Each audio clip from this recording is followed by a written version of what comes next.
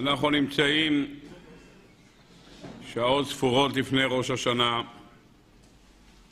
אני רוצה להקדיש את השיעור לרפואת רבי רפאל שלמה בן שמחה והרב ישי בן מרים בתור שאר חולי ישראל.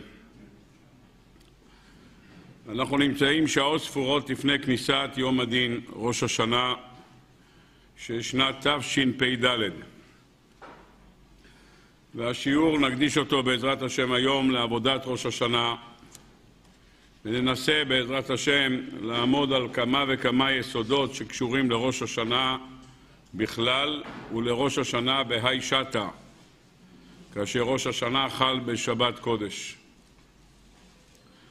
חז"ל הקדושים בגמרא במסכת ראש השנה אומרים חז"ל בארבעה פרקים העולם נידון ארבע פרקים בשנה העולם נידון, בפסח על התבואה, בעצרת על פירות האילן, בסוכות על המים, ובראש השנה כל באי עולם עוברים לפניו כבני מירון. הגמרא במסכת ראש השנה דנה מה זה בני מירון. אומרת הגמרא, מביאה הגמרא שלוש דוגמאות. דוגמה ראשונה אומרת הגמרא כמו כבשים שעוברים להתעשר אחד-אחד. כמו שאנחנו אומרים בפיוט של רבי אמנון ממגנצה, כבקרת רועה עדרו מעביר צונו תחת שבטו, כן תעביר. אומרים חז"ל כמו כבשים שיוצאים להתעשר, מעבירים אותם אחד-אחד, והעשירי מסמנים אותו. זה נקרא, אומרים חז"ל, כבני מירון, כמו כבשים שעוברים להתעשר. ביאור נוסף, אומרים חז"ל, כמדרגות בית חורון. מדרגות שהוא מעבר צר, אין אפשרות לעבור שם רק אדם אחד. והדוגמה השלישית שמביאים חז"ל כחילות בית דוד.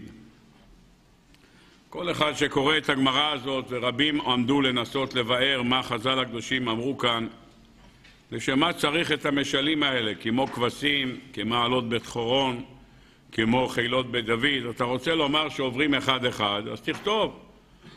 ובראש השנה כל באי עולם עוברים לפניו אחד-אחד. למה צריך לכתוב כבני מירון, ואז אתה צריך לחפש מה זה בני מירון, ואחד יגיד כמו כבשים, ואחד יגיד כמו מדרגות, והשני יגיד כמו חילות בדוד. אמר רבי חיים מוולוז'ין, כך מובא בשמו, שהוא אמר שזה לא הפשט שכל באי עולם עוברים לפניו כבני מירון, וחז"ל מביאים דוגמאות. כולם עוברים אחד-אחד, זה הפירוש. רק השאלה, מה הבקשות של כל אחד ואחד? ישנם בני אדם שכל הבקשות שלהם זה כמו כבשים. מה מבקשים כבשים? שיהיה להם מרעה ושיהיה מים טובים ושהרועה לא ירביץ להם ושהכול יעבור בשלום. זה המושגים של כבש. ישנם בני אדם שבאים לראש השנה ומבקשים כמו כבשים. ריבונו של עולם, תן שנה טובה, שיהיה אוכל טוב ושבעזרת השם נוכל ליהנות ואל תרביץ לנו. זה מה שמבקשים, אין לנו בקשות אחרות. זה הבקשה כמו כבשים, זה המושג המקסימלי שבן אדם מגיע אליו. ישנם אנשים שהדרגה הרוחנית שלהם קצת יותר גבוהה, הם מתעלים מעל הרצון להיות כבשים ולקבל אוכל כסדרו ולא לחטוף מכות. הם מבקשים, ריבונו של עולם, אני רוצה קצת מדרגות רוחניות. תן לי בבקשה להרגיש קצת מה זה עבודת השם, להרגיש מה זה התקרבות אליך. האר פניך וניוושע, כי באור פניך נתת לנו השם אלוקינו תורת חיים ואהבת חסד, רוצים אור פניו של הקדוש ברוך הוא, לדוד השם אורי, אורי זה ראש השנה. תן לנו בבקשה קצת מעלות רוחניות, להתרומם, להגיע לפסגות יותר גבוהות בעבודת השם. זה החלק השני שנקרא בשם מדרגות מעלות בית חורון. הדבר השלישי זה חילות בית דוד. זה חייל שבא לקדוש ברוך הוא ואומר, ריבונו של עולם, אני רוצה להיות חייל שלך. מה זה חייל שלך? חייל, כל המחשבה שלו איך לעשות את התפקיד שלו למלך טוב. הוא רוצה למסור את הנפש שלו למען המלך, הכל הכל הוא מוכן לעשות למען המלך שלו. וזה המדרגה שאדם מבקש להיות חייל של הקדוש ברוך הוא. מי שמבקש להיות חייל של הקדוש ברוך הוא לא צריך לבקש לא על פרנסה ולא על בריאות ולא אריכות ימים ושנים, כי המלך רוצה את החיילים שלו. אם המלך רוצה את החיילים שלו, אז הוא נותן לחיילים שלו כל מה שהם צריכים. המלך לא ייטוש את החיילים שלו. ולכן אומר רב חיים מוולוז'ין, יש כאן שלוש מדרגות, שלוש מדרגות של עבודת השם, אחד שמבקש רק את המינימום, אוכל כמו כבשים, השני שרוצה מעלות רוחניות, והשלישי שרוצה שכל חייו יהיה לו רק דבר אחד, לשרת את המלך, לשרת להיות חייל בבית השם. זה העבודה שלנו, וזה הכוונה של חז"ל, שבראש שנה כולם עוברים לפניו כבני מירון, וכל אחד יש לו מחשבה אחרת. אחד עובד ראשון, הוא אומר, אני רוצה בסך הכל, תן לי אוכל, ואל תרביץ לי. והשני מבקש, לא, אני רוצה לעלות ברוחניות. והרביעי רוצה, השלישי רוצה להיות חייל. אלה שלושת המדרגות שלנו. והיות אנחנו באים לראש השנה, וראש השנה, כידוע לכולם, מכיל בסך הכל 48 שעות, מתוכם 12 שעות לילה בכל יום ו-12 שעות יום, 24 שעות יום ו-24 שעות לילה, כי השעות די מאוזנות, 6 וחצי נץ חמה, 6 וחצי שקיעת חמה, זה כמעט 12 שעות, קצת יותר שקיעת חמה, אולי 6.40, אבל זה ממש מדוקדק 12 שעות יום ו-12 שעות לילה. ובסך הכל בשעות היום יש לנו 24 שעות. ובשעות הלילה 24 שעות. כותב הספר שש באמרתך בעמוד שע"ג לבאר את מה שנקרא היום הזה בשם ראש השנה. למה לא קוראים לו תחילת שנה? א' כל התורה הקדושה קוראת לו ככה, עיני השם אלוקיך בא מראשית השנה ועד אחרית שנה. ככה הקדוש ברוך הוא קורא לזה. אבל המושג ראש הוא מבטא את הראש של הבן אדם. מי שיודע, בראשו של האדם נמצאים הרבה מוליכים שמוליכים את כל ההוראות שיוצא מהראש של כל האיברים. זה שאדם יכול להניע את האצבע שלו ולהזיז את האצבע זה בגלל שבמוח יש פיקוד שעובר עד האצבע ונותן הוראה לאצבע להתקפל. אותו דבר, כל אירה, כל איבר בגוף שאתה מעביר אותו, אתה מזיז אותו, הכל בא כתוצאה מהוראה של המוח. אז במוח יש מאות חוטים שמוליכים לכל האיברים בגוף על כל פרט ופרט, כל דבר שיש לנו שם עובר מהמוח למטה, והמוח הזה נראה, אם אנחנו רוצים לדמיין את זה חיצונית, זה נראה כמו ארון סעף של בזק, מלא חוטים שהולכים.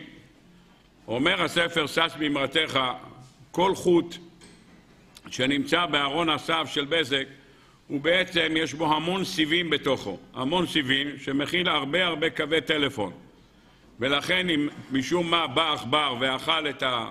את הפלסטיק שיש על, ה, על הכבל של הטלפון, אז נאכל, ואז מה? הכל נחשף ויש מגע בין, בין הכבלים, אז יש קצר. אז יכול להיות שאם נשרף חוט אחד, אז 15 משפחות בבניין אחד אין להם טלפון. הכל התנתק, אז אין טלפון.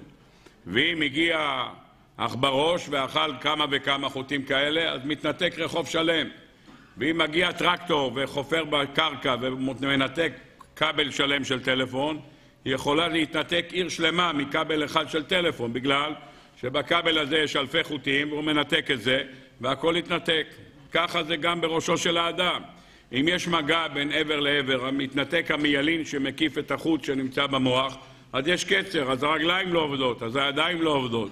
זה מוליך את זה, וזה עושה את הפגם שנמצא באותו מוליך. מרחמנא ליצלן יש לאדם אירוע מוחי, אז האירוע המוחי הזה גורם קצר לחצי גוף, אז חצי גוף משותק. אז זה לא רק אצבע לא עובדת, זה לא רק רגע רגלי רגל לא עובדת, כי הגוף משותק. אז הוא כבר לא מדבר וכבר לא יכול, נפגע גם הדיבור ונפגע חצי צד, אז ההשלכות של זה הן השלכות הרבה יותר משמעותיות. ולכן מה? כשמגיע ראש השנה, יש לנו ראש. הראש הזה נותן מהלכים לכל ימות השנה. כל ימות השנה ניזונים מהראש הזה.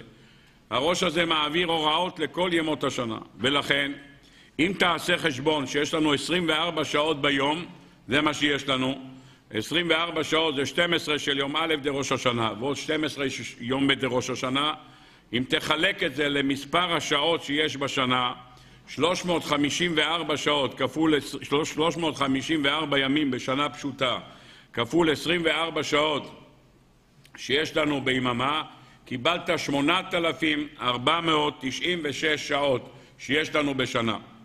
אם תחלק 8,496 שעות בשנה ל-24 שעות של ראש השנה בשני ימים יום, קיבלת 354 שעות. 354 שעות זה 14.75 ימים בשנה. אם תיקח את החלוקה של ראש השנה ל-48 שעות, אז כל שעה בראש השנה נותנת לך 177 שעות בשנה. 177 שעות בשנה זה 7 ימים נקודה 3. פירוש הדבר, שאדם עושה עבודה בראש השנה, ונעמד בעבודת התפילה שלו, הוא קם בנצח חמה, עוד לפני הנצח חמה הוא מתחיל לעבוד. אז השפעת היום הזה, כל שעה ביום הזה נותן אוכל לחמישה עשר יום, אם אתה מחשב יום. אם אתה מחשב יום ולילה, אתה מקבל השפעה לשבעה ימים. כל שעה נותן לך אספקה לשבעה ימים. ולכן אנחנו מעדיפים שיהיה לנו שבעה, רק החישוב בימים, כי בימים אנחנו עובדים את השם, בלילות אנחנו הולכים לישון, אז זה פחות. אבל ודאי שאפשר לצרף את השינה, כי השינה נעשית לצורך עבודת השם של יום למחרת, אז היא יכולה להיות חלק מהעניין הזה. אם אתה מחשב את הימים, זאת אומרת כל שעת עבודה בראש השנה נותנת כוח לחמישה עשר ימים בשנה הבאה עלינו לטובה. אז יש לך שעה ועוד שעה ועוד שעה, כי יש לך ארבעים וחמישה ימים טובים. יש לך ארבע שעות, יש לך שישים ימים טובים, וככה זה משתרע על כל ימי ראש השנה. ואם אתה בשעה אחת מתבטל, אתה לא עושה את העבודה שלך, אתה משורף את הזמן הזה לריק על דברי הבל ורעות רוח, אז אם במהלך השנה יהיו לך 15 ימים שתגיד איזה ימים דפוקים יש לי בתקופה האחרונה, אל תתלה את זה בימים הדפוקים שעכשיו. זה הימים הדפוקים בשעה שהיה לך בראש השנה שלא עשית את העבודה כמו שצריך. אם היית שם עושה את העבודה כמו שצריך, כל שעה בראש השנה מספקת אוכל ל-15 ימים בשנה הבאה. ואם אתה מחשב גם יום וגם לילה, זה מספק שבע ימים על כל שעת עבודה. ללמד אותנו כמה כל שעה בראש השנה הוא דבר שנותן כוח לכל השנה כולה, ולכן ראש השנה, היות וזה בחינת תחילת השנה, והכל הגוף הולך בתא רישא, כמו שאומרת הגמרא, הכל הולך אחר הראש, אז כל אחד ואחד מאיתנו צריך להשגיח על כל רגע בראש השנה, לא לאבד אותו לריק, כי כל רגע בראש השנה נותן אספקה ליום, לחצי יום, ולכן כל דקה צריך לנצל לעבודת השם בראש השנה. אלה הדברים שיש לנו כאן בפתיח של ראש השנה ובעבודה שיש לנו לקראת הימים הבאים לנו לטובה. כמובן שהקדוש ברוך הוא ברוב חסדיו יתברך חיבר לנו שני ימי ראש השנה כמו שחז"ל אמרו לנו שכמו שהיה בראשית הבריאה לא שקע השמש ביום שבת קודש, לא כתוב ויהי ערב ויהי בוקר יום השבת, אלא השמש זרחה 36 שעות, יום שישי ושבת היו מחוברים, והיו 36 שעות שהשמש עבדה בלי הפסקה. זה בחינת לדוד השם אורי, שני ימי אור שהיה לנו בראשית הבריאה, היה 36 שעות של אור, שהרוקח כותב בהלכות החנוכה ש-36 השעות, הנרות שאנחנו מדליקים בחנוכה, הם משורש 36 השעות שהיו בראשית הבריאה, בשני הימים הראשונים של הבריאה, מתחילת יום שישי בבוקר ועד מוצאי שבת היה 36 שעות של אור. כותב על זה חתם סופר. אנחנו אומרים במזמור שיר של פגעים בסוף המזמור, אורך ימים, אז ביאהו והראהו בישועתי. אומר חתם סופר, אורך ימים. זה שהקדוש ברוך הוא חיבר לנו את שתי הימים האלה, נתן לנו שתי ימי ראש השנה, והאריך לנו את הימים, אורך ימים. אז ביאהו והראהו בישועתי, הוא מביא לעם ישראל ישועות. מה הישועות שהוא מביא לעם ישראל? כשעם ישראל זוכה להאריך את הימים האלה, יש לנו עוד ועוד ימים של עבודת השם בסייעתא דשמיא, עוד שעות שיש לנו בראש השנה לעבוד את השם ולהביא לעצמנו הרבה יותר ישועות והרבה יותר הצלחה במהלך השנה. בספר שמן ראש הוא עומד על ההפטרה של הנביא ישעיהו, הפטרה שאנחנו קוראים בשיבא דנחמטה, הפטרת פרשת ראה, ושמתי קדקוד שמשותייך. אומר הספר שמן ראש קדקוד זה 24 ו-24, קד קוד, כ"ד וכ"ד, ביחד זה 48 שעות. 48 שעות שמה? 48 שעות של עבודת השם שיש לנו בראש השנה. זה ושמתי קדקוד שמשותייך. למה שמשותייך? א' כל כי ראש השנה נקרא לדוד השם אורי, זה הלשון של אור. חוץ מזה שאין ירח בראש השנה, כמו שכתוב, תקעו בחודש שופר בכסל ליום חגנו. מה זה בכסל ליום חגנו? שהוא מכוסה, הירח מכוסה בו. אז מה יש לנו? הימים האלה רק השמש זורחת בו. לכן הוא אומר, ושמתי קדקוד שמשותייך, הקדוש ברוך הוא נתן לנו 24 שעות של עבודה, עבודת השם מפנות חורה לדוד השם אורי ואישי, כי השמש זורחת בימים האלה. אלה הדברים שאומר הספר שמן ראש. אם ככה, נשלים לזה רק בדבר אחד שמביא הדובר שלום, השר שלום מבלז, כותב על ההפטרה. הגמרא במסכת בבא בתרא, בדף ע"ה, אומרת הגמרא, ושמתי קדקוד שמשותייך, שואלת הגמרא, מה זה האבן הזאת שנקראת קדקוד? אומרת הגמרא, אחד אמר שוהם ואחד אמר יושפה. אמר הקדוש ברוך הוא כדינו כדין, שיהיה גם זה וגם זה. רבינו בכייה כותב שהאבן שוהם, מי שלובש אבן שוהם, זה עוזר לו שיתקבלו דבריו. הדברים שלו, אנשים נשמעים לדברים שלו. האבן הזאת שנקראת יושפה מרמזת על שתיקה. יש פה ושותק. האבן הזאת, כידוע לכולם, שייכת ליוסף הצדיק. היא האבן לבנימין, האבן שנקראת יושפה. למה נקראת יושפה? יש פה ואינו מדבר, יודע שאח שלו ותמיד סוגר את הפה שלו. זה האבן שנקראת יושפה. אמר השר שלום מבלז בחודש אלול, יש מצווה להתוודות לקדוש ברוך הוא. יש לנו עוד יום אחד להתוודות בחודש אלול. בתשרי, כותב הארי הקדוש, אסור לנו להתוודות. אסור להתוודות בראש השנה, רק במחשבה. ולכן הוא אומר, תשרי הוא תחילת השנה, ואלו לא סוף השנה. אז אם אדם מתנהג בשני הדברים האלה, להווה כדין וכדין, יש לו את הימים האלה, שהוא בהם עובד בשוהם, זה חודש אלול, ויש לו את האבן שנקראת יושפה, זה ראש השנה.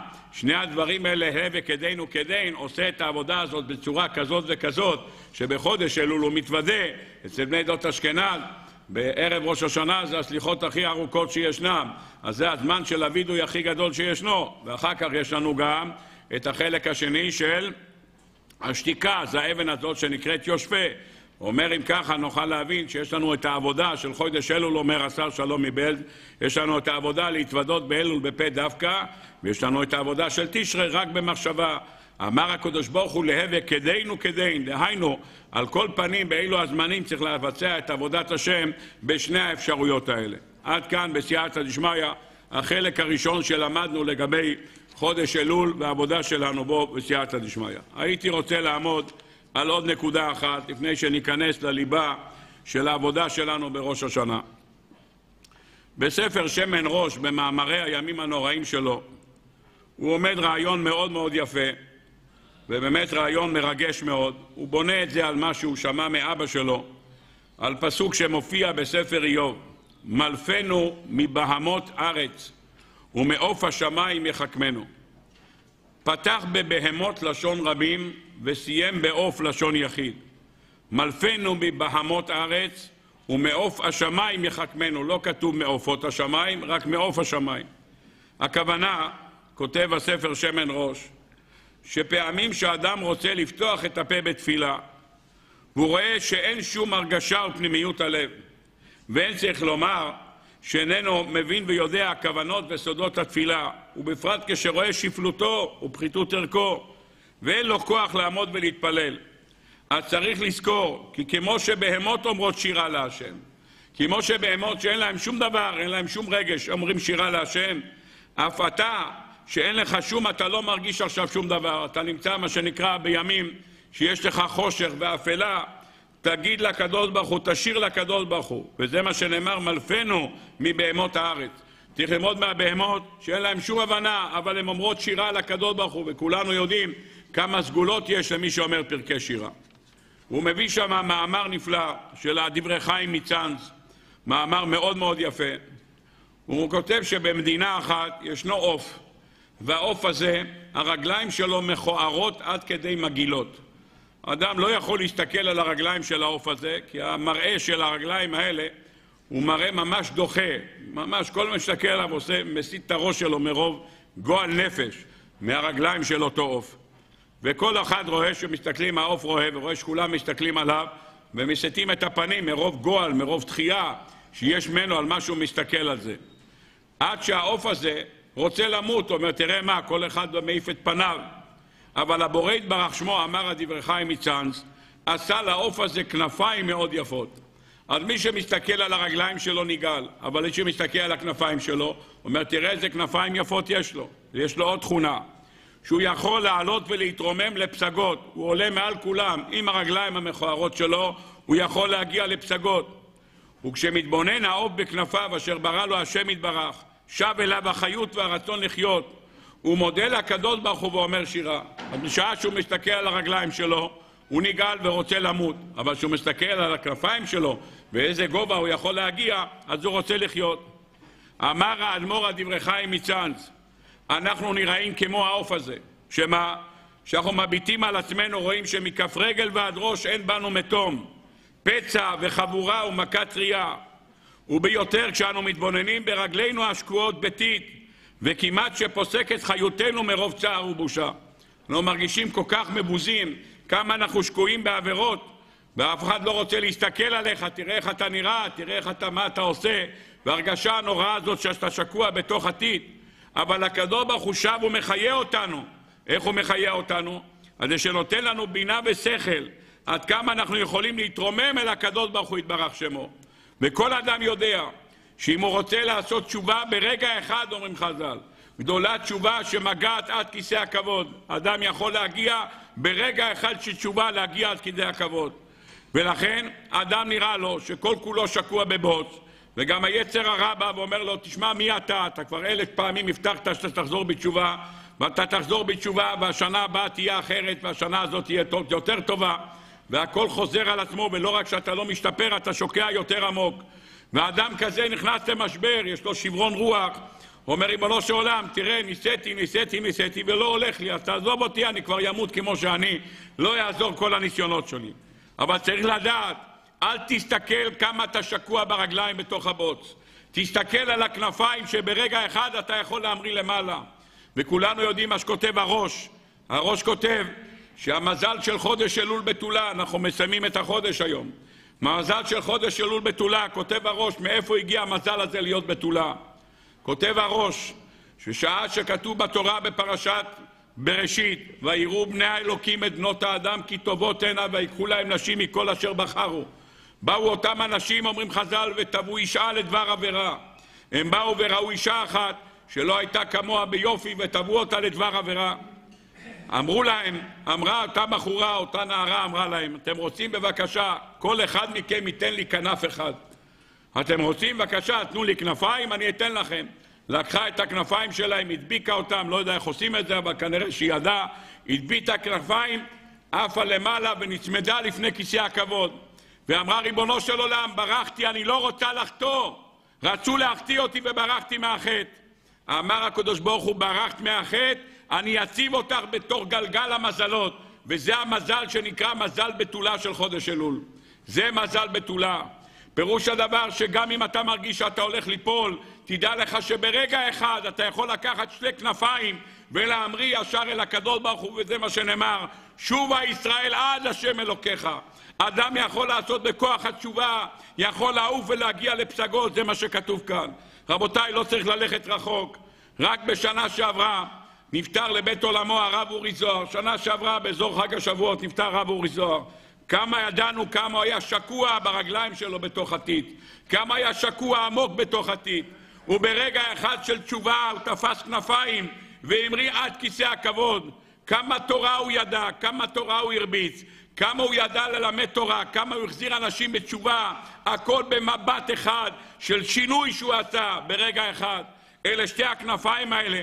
כתוב בחז"ל תרי גטפין של אהבה ויראה, אתה יכול להשתמש בשתי הכנפיים האלה להמריא למעלה. וזה מה שאומר הפסוק, תלמד מעופות השמיים, מעוף השמיים תחכמנו, לא כתוב בלשון רבים, כתוב בלשון יחיד מעוף השמיים, תלמד מהעוף הזה, שהרגליים שלו מבוססות ונראות איום ונורא, אבל הכנפיים שלו יכול להמריא ולהגיע לפסגות. וזה מה שהתפקיד שלנו, לא להסתכל על הבוץ למטה, להסתכל על הכנפיים למעלה. כי אם תסתכל על הבוץ שיש לך על הרגליים, אתה תישבר. תסתכל על הכוח שיש לך, להתנתק מן החטא, להתנתק מהמצב שלך. בבת אחת אתה יכול להמריא לפגות. זה התפקיד שלנו בשעות האחרונות שיש לנו עד ראש השנה. שעות ספורות, אבל אפשר לקבל החלטה. אבא, אני הולך להתרומם אליך. אבא, אני הולך לבוא אליך. זאת ההרגשה שצריכה להיות לנו בראש השנה. וכל אחד שניגש לראש השנה ומכיר את מה שחז"ל הקדושים אומרים, אומר הקדוש ברוך הוא אמרו לפוני מלכו יויס זיכרוינוס ושופרויס מלכו יויס כדי שתמליכוני עליכם זיכרונות כדי שיעלה זיכרונכם לפניי לטובה ובמה בשופר. אתה בא אל המלך עכשיו מלכו יויס כדי שתמליכוני עליכם. מצד אחד אוחזת את האדם פחד אוחזת האדם פחד ורעדה איך אני אבוא אל המלך? כתוב בטור וכותב רבי דוד אבודרהם לכן אנחנו פותחים כל קטע בתפילה במילה ובכן ובכן תן כבוד, ובכן צדיקים, ובכן תן פרדך, כל הזמן ובכן. מה זה ובכן? תן פרדך, השם אלוקינו. צדיקים יראו וישמחו, וכן צדיקים. למה פותחים כל פעם וכן? אז יש תשובה שמביאים המפרשים, שמבקשים מהקדוש ברוך הוא שינהג אותנו בחסד, לא מגיע לנו שום דבר. בחן זה גימטריה של, יש לנו 72, 72 זה גימטריה של חסד. זה החסד, זה המספר, אומרים לקדוש ברוך הוא, וכן מבקשים ממך אבא חסד, לא מגיע לנו כלום. בני עדות אשכנז פותחים את הסליחות במזמור שאומרים בפתיחת הסליחות יוצר אתה לכל יציר נוצר, כוננת מהטרף לחלצה ממיצר, לכוננם חינם מאוצר המנוצר.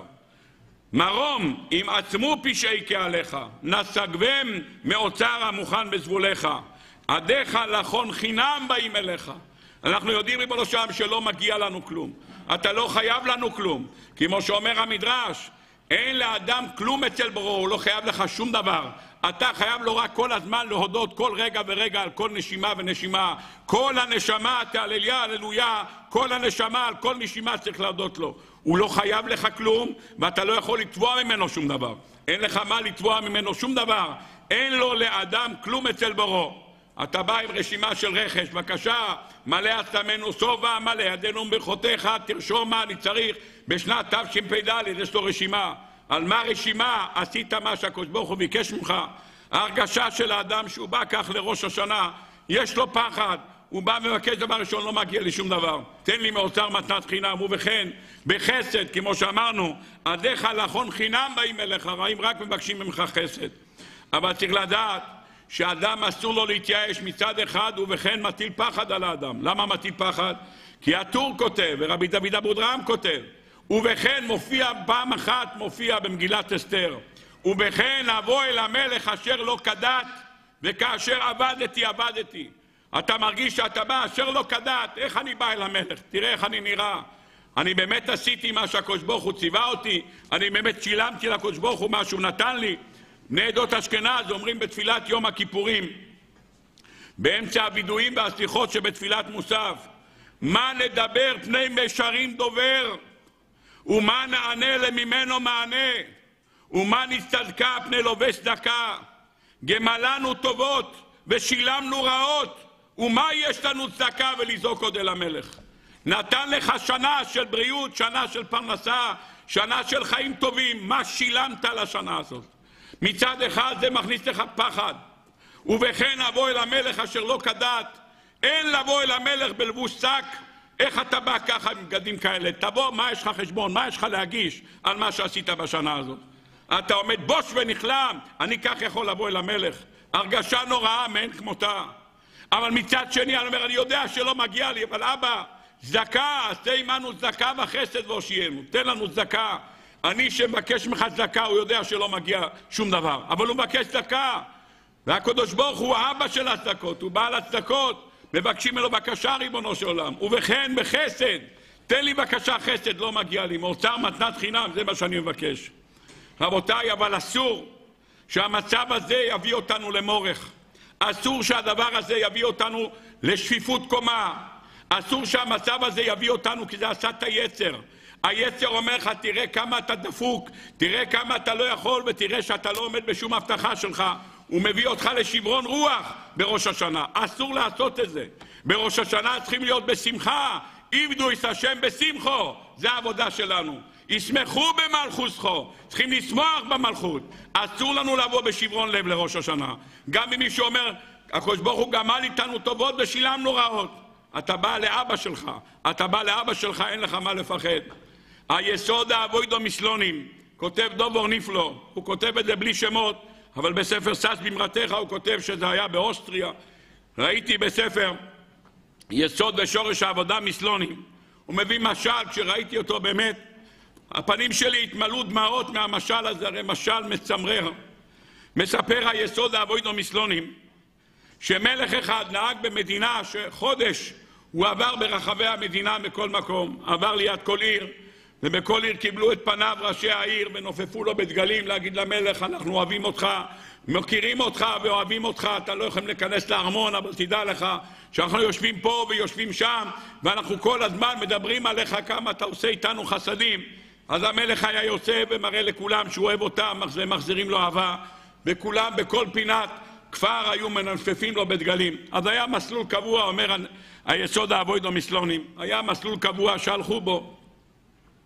והיה מידע, במקום הזה הוא בתשע וחצי, במקום הזה הוא ברבע לעשר, במקום הזה הוא באחד עשרה, וכך היה פירוט של כל הדרכים שלו, בכל פינת מקום ששם גרים אנשים, עמד אדם אחד, וכשהמלך אמר, הוא נופף לו עם הדגלים בשני צדדים ואמר, הנה גם במקום הזה אנחנו אוהבים אותך, והמלך היה מנפנף לכולם בכרכרה, לא היה חשד שמישהו יירה בו, זה לא, זה לא במדינה של הדור הזה, אנשים אהבו את המלך ולא היה חשש, אז הוא ישב על כרכרה חשופה ונופף בשלום לכולם בסייעתא דשמיא. אומר היסוד האבוידו מסלונים, יום אחד מקבלים את המסלול של המלך, המלך אמור לעבור פה, במקום אחד שהוא אמור לעבור תשע וחצי בבוקר. הציבו שם אדם אחד, חייל בצבא, העמידו שמה, והשעה תשע וחצי, השמש קופחת על הראש, 45 מעלות חום. הוא עומד שם, אמרו לו תשע וחצי, הוא כבר בא בתשע, סידר לעצמו את הכובע וסידר את זה, עשה אימונים, הוא יצדיע ויעשה ככה עם הדגלים בשני צדדים ויעשה למלך, אוהב אותך ממרחקים, יעשה לו ככה, הוא טימן, עשה אימונים, עשה שלוש פעמים ככה, איך הוא יעשה גם ככה עם הדגל, כל האופציות האפשריות הוא ניסה. השעה תשע וחצי, רבע לעשר, עשר, אחד עשרה, אחד עשרה וחצי, שתים עשרה, המלך לא מגיע. הוא לא הביא איתו ממייה, הוא לא הביא איתו כלום, חום אימים בחוץ, הוא אמר, יצאתי מהבית בתשע, תשע וחצי יעבור, אני חוזר הביתה, אני אשתה, מה סקרתי צ'יצ'ריקן, לקח שני דגלים והיה מוכן. בקיצור, השעה כבר 12, אחת בצהריים ואין מלך, והוא מרגיש שהוא מקבל סחרחורת. אין סחרחורת, הוא לא שותה, והוא נוטף מים מרוב חום, 45 חום, עם כמות זיעה עצומה, מזג אוויר מהביל בחוץ, השם ירחם. בקיצור, אומר, מה אני עושה? אני מרגיש שאני הולך להתעלף.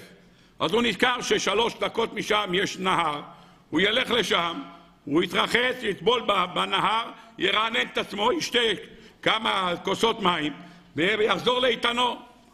פשט את בגדיו, פשטתי את בגדיי, הוא יורד לתוך הנהר וטובל, טובל את עצמו, ואיך שהוא טובל את עצמו, הוא פתאום שומע את השקשוק של הכרכרה, שתיים בצהריים, במקום בתשע וחצי, שתיים בצהריים, הכרכרה מגיעה, מה הוא עושה עכשיו? מה הוא עושה? הוא נמצא בתוך הנהר, הכרכרה תגיע בתוך שתי דקות, הכרכרה שם. הוא לא יספיק להתלבש. אין מצב שהוא יתלבש וירוץ להחזיק את הדגלים.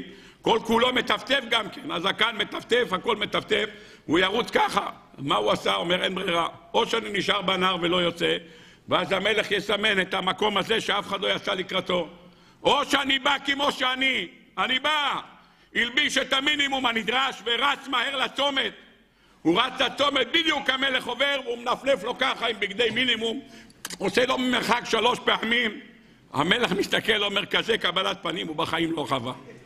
כזה דבר, קבלת פנים, מה שנקרא, בחוף הים, זה הוא אף פעם לא פגש כזה מין דבר. המלך סימן לכרכרה לעצור, המלך יורד למטה, אומר לו, תגיד, ככה באים למלך? מה קרה לך? איך אתה נראה? אומר לו, אדוני המלך, תשמע, אני אספר לך את האמת. אתה רואה, קיבלתי פתק, אתה בא בתשע וחצי. אחד וחצי הרגשתי סחרחורת, לא שתיתי כלום, לא אכלתי כלום, לא לבשתי, לא הבאתי איתי שמשייה, לא ידעתי כזה חום בחוץ. מה אני אעשה? הרגשתי שאני מקבל סחרחורת. אמרתי, או שאני הולך לטבול ולשתות משהו, או שאני מת כאן במקום. הלכתי, טבלתי, שמעתי את הכרכרה, באה לי שני אופציות. או להישאר במים ואתה עובר ולא ינפנפו, או שאני יוצא כמו שאני יוצא. לא ימצא חן בעיניך, תהרוג אותי. אבל אני לא אוותר על הזכות הזאת לבוא ולהתניע לפניך ולהגיד, אדוני המלך, אני אוהב אותך. אמר היסוד עבודה מסלונים, אל יתייאש אדם כמו שהוא נראה, אין לו מלבוש, הוא בלי כלום, פצע וחבורה ומכה טריה. אין לו כלום. הוא בא לקדוש ברוך הוא ואומר, נתת לי כל כך הרבה טובות ושילמתי לך רעות. אבל מגיע ראש השנה, ריבונו של עולם, אל תסתכל על הבגדים שלי. באתי להגיד לך, אני אוהב אותך. אני רוצה להמליך אותך למלך. אני רוצה שאתה תהיה מלך, וכולם ידעו מי אתה. מלוך על כל העולם כולו בכבודיך. המלך שמע את זה, אומר לו אותו חייל, אדוני המלך, אתה יכול להרוג אותי. בושה וחרפה כך לבוא אל המלך, בושה וחרפה. אבל ריבונו של עולם, אדוני המלך, באתי גם במחיר שתהרוג אותי, לא אכפת לי. אני לא אוותר על הזכות הזאת שיש לי פעם אחת בשנה לנופף לך לשלום ולהגיד לך כמה אני אוהב אותך. רבותיי, כשהמלך רואה את הבושה האמיתית שכיסתה את פניו. המלך רואה כמה האדם הזה באמת מדבר בנבחי ליבו, מדבר מעומק ליבו. אומר המלך, בבקשה, תנו לו מדליה, מגיע לו מדליה על מה שהוא עשה. שיצא מתור המד גם במצב הזה ואמר, כמה שאני בוש ונחלם, זה היסוד הגדול. הבושה הזאת היא מה שמביאה לאדם את היכולת לעמוד בפני הקדוש ברוך הוא. אם ככה, בסייעתא דשמיא, אחרי שלמדנו את היסוד הזה ולמדנו קצת מעבודת ראש השנה, נוכל לומר עוד יסוד שאומר הספר שמן ראש, דע לך, הפסוק הזה, ואת ערום ואריה וארך מתבוססת בדמייך, זה הרגשה של אדם שמגיע לראש השנה. איך הוא מגיע? ערום ואריה, אין לו מה להציג. אבל תדע לך שזה שהוא מתבייש שהוא בא בצורה הזאת. מתבוססת בדמייך, כמו שאומרת הגמרא. אז ילסומקה ואתי חיברה, מתבוסס בבושה שמשתמין פני פניו. זה הזכות הגדולה שיש לנו לראש השנה. כל אחד ואחד שמגיע לראש השנה צריך לדעת את כוח התשובה שיש לנו ביום הזה, שיש לנו בראש השנה. אם אלה הדברים, בסייעתא דשמיא, בואו נעמוד על יסוד נפלא, בואו נעמוד על יסוד נפלא של עבודת ראש השנה, בנושא שאכילנו בו בשבוע שעבר, ונמשיך בעזרת השם עוד היום לעמוד על עוד נקודה נפלאה ברצות השם יתברך. כולנו יודעים שעיקר העבודה בראש השנה, עיקר העבודה הוא העבודה של שופר. זה עיקר העבודה שלנו בראש השנה, שופר. התורה לא כותבת שום דבר על יום דין. זה שאנחנו לומדים שראש השנה הוא יום דין, לומדים מפסוק אחד שמופיע במזמור פ"א, תקעו בחודש שופר, בכסל ליום חגנו, כי חוק לישראל הוא משפט לאלוקי יעקב. בתורה כתוב דבר אחד, יום תרועה, זיכרון תרועה, זה מה שהתורה מביאה, התורה לא מביאה יותר מזה שום דבר. בפרשת סמור כתוב זיכרון תרועה, ובפרשת פנחוס כתוב יום תרועה, וחז"ל הקדושים עשו כאן סמך לבטל תקיעת שופר בראש השנה שחל בשבת, כי התורה כותבת פעם אחת זיכרון תרועה. מה זה זיכרון תרועה? יש יום אחד בשנה, אם נאכל ראש השנה בשבת, אנחנו לא תוקעים בשופר, רק זוכרים תרועה, זיכרון תרועה. עד כאן הדברים. רבותיי, כולנו יודעים, מה שאומר המשך חוכמה, שהוויתור הזה שאנחנו מוותרים למען כבודו של הקדוש ברוך הוא, שמישהו יטלטל שופר בשבת, ואנחנו אומרים לקדוש ברוך הוא, אנחנו מוותרים על זכות הגדולה של שופר, שאדם זוכה עד שעל ידי השופר הקדוש ברוך הוא עובר מכיסא דין לכיסא רחמים. ואנחנו מוותרים על הזכות הזאת, ודאי שזה יעמוד לנו לזכות, כמו שכותב המשך חוכמה, בהרחבה גדולה. יום ראש השנה הוא כל כולו מבוסס על יצחוק. מבוסס על יצחוק אבינו, וכבר הזכרנו את זה בשנים עברו, רק נחזור על זה בקצרה. א' כל שויפור, שופר כתוב בחז"ל, עומר הקדוש ברוך הוא, תקעו לפניי בשופר של העיל, כדי שאזכור לכם עקדת יצחק בן אברהם, ומעלה אני עליכם כאילו עקדתם עצמכם לפניי. אז העבודה הזאת, עבודת השופר, היא תקעו לפניי בשויפור של העיל, כדי שאזכור לכם עקדת יצחק בן אברהם. בני עדות המזרח נוהגים לאכול ראש של כבש לראש השנה, בסימנים שאני אהיה לראש ולא לזנב. למה דווקא ראש של כבש? בגלל סיבה פשוטה, כי מזכירים את העיל, זה הזיכרון של העיל, גם נזכור את זה, שנהיה לראש ולא לזנב, מהבחינה הזאת. למחרת, כאשר הולכים לתשליך, כתוב ללכת לתשליך לנהר שיש בו דגים. למה? כדי לזכור שבשעה שהלך אברהם אבינו לעקידה, בא השטן ועשה לו נהר כדי שלא יוכל לעבור. ואברהם אבינו צעק, מבקש מהקדוש ברוך הוא, שיהני אלוקיי, כי באו מים עד נפש, ריבונו של עולם, תציל אותי. מים עד נפש, השטן רוצה להרוג אותי. והקדוש ברוך הוא הציל אותו, לכן הולכים לנהר למקום שיש דגים, ריבונו של עולם. תזכור שרצית, השטן רצה לפגוע בי ורצה להרוג אותי, תזכור שהקדוש ברוך הוא, אומרים לו, תראה כמה אברהם אבינו מסר את נפשו. יש מנהג שהבאנו אותו כבר כמה פעמים, מופיע בספר אלף על למדתי אפרים, הוא כתוב אפילו בספר נעימות יאמרו על הימים נוראים. כתוב שנוהגים לכסות את השופר בעל הבמה, לכסות אותו. כך כותב הספר מטה אפרים. והשאלה, למה צריך לכסות אותו? מה אכפת לך שיהיה מגולה? את השופר אתה מכסה את הלולב? אתה לא מכסה את הלולב, אז מה אכפת לך שיהיה מגולה? למה צריכים לכסות אותו? אבל כתוב בהלכה, כך כותב המטה אפרים, לכסות אותו. שואל הספר אלף למטה, שם אחד המבארים על, על הלכות ראש השנה, הוא אומר, למה צריך לעשות את השופר? מה אתה מפחד? אולי בגלל המזגנים של היום זה קצת מצטנן השופרות, אבל בכל אופן, למה צריך לכסות את השופר? כותב הספר אלף למטה גם את זה כדי להשאיר את עקדת יצחק. למה? כתוב ויבן אברום את המזבח, אברהם אבינו בנה את המזבח, שואל המדרש, אברהם אבינו צריך לבנות מזבח?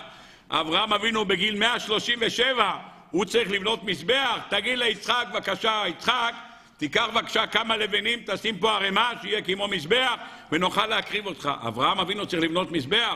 זה לא כמו בדורות שלנו, שאתה נותן לאבא לסחוב ואתה אומר, אתה עושה את זה יפה. זה לא היה. בזמנים ההם הבנים סחבו, לא נתנו לאבות לסחוב.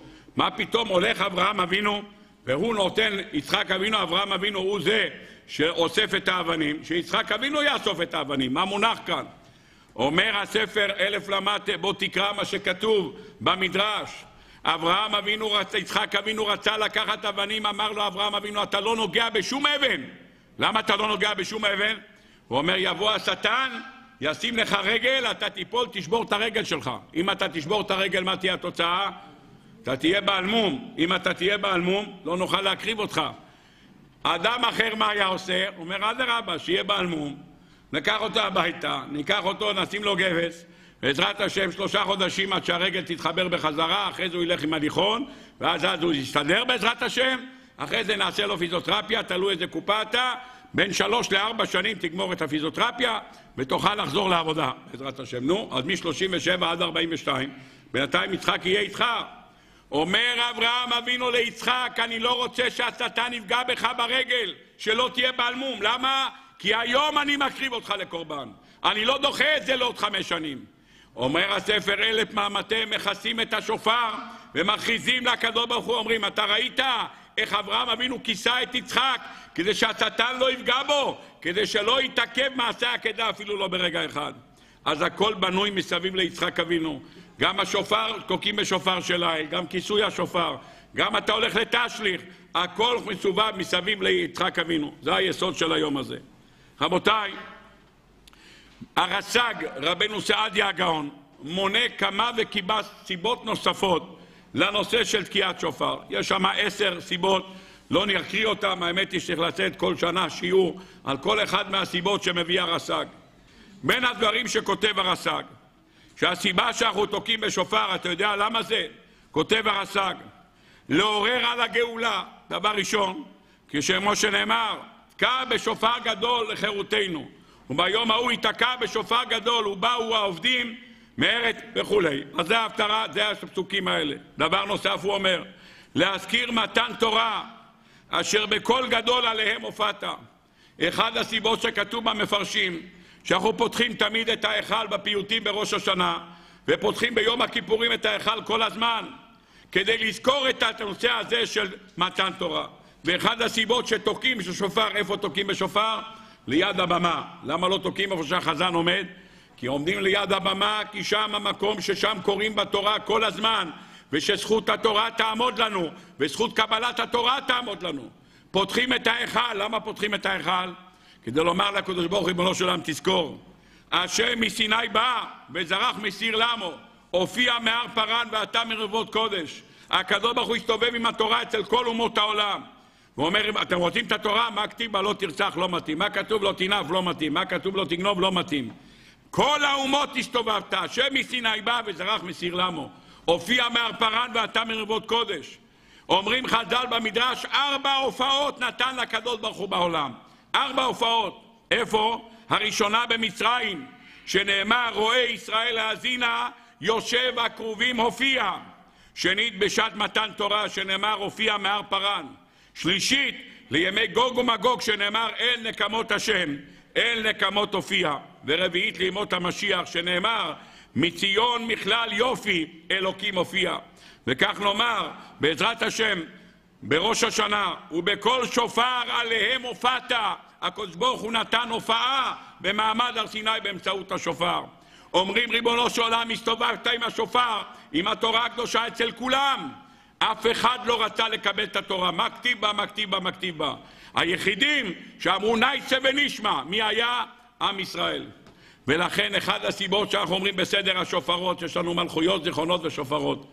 כותב רבי יצחק אלבו, בספרו רבי יוסף אלבו, בספרו עיקרים, שהוא חולק על הרמב"ם שיש שלושה עשר עיקרים ואומר שלושה עיקרים יש לנו, השאר ענפים היוצאים ממנו. העיקר הראשון מציאות השם, העיקר השני שכר ועונש, העיקר השלישי זה טוירו מן השמיים. אלה שלושת העיקרים שעליהם עומד העולם. שלושה עיקרים ומהם משתרכים ענפים, כותב רבי יוסף אלבו. מלכויות זה מציאות השם. זה החלק שאנחנו מעידים שהקדוש ברוך הוא חי, והקדוש ברוך הוא ברא את העולם והוא חי וקיים לנצח. זיכרונות זה שכר ועונש. וגם את נוח באהבה זכרת, ותפקדהו בדבר ישועה ורחמים, באביך את מאה מבול לשחט כל בשר בני רוע עמד עליהם. על כן זיכרונו בא לפניך השם אלוקינו, להרבות זרעו כעפרות תבל וצאצאיו ככל הים. הקדוש ברוך הוא זוכר את נוח שהיה צדיק באותו דור, והציל אותו שכר ועונש. החלק האחרון שופרות, אתה נגלית, אנחנו אומרים, בסדר השופרות, אתה נגלית בענן כבודיך, עלם קודשך לדבר עמם. מן השמיים נשמעתם קוליך ונגלית עליהם בערפלי תואר. גם כל העולם כולו חל מפניך. אומר, אומר הפסוק, וביות בראשית חרדו ממך, ובהגלותך מלכנו על הר סיני, ללמד לעמך תורה ומצוות, ותשמיעם את אות קוליך, ודיברות קודשך מלהבות אש.